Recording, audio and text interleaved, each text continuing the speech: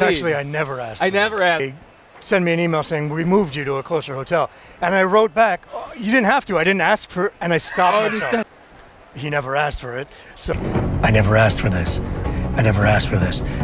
I cannot say I'll never. I'll say hey, I never asked for this. I never asked for this. Adam Jensen just said I never asked. Rest in peace, Big Rizzle. Yeah, rip. Uh, rest in peace, Big Rizzle. Yeah, rip. What's with the voice? What what is what is that all about, right? What do you mean?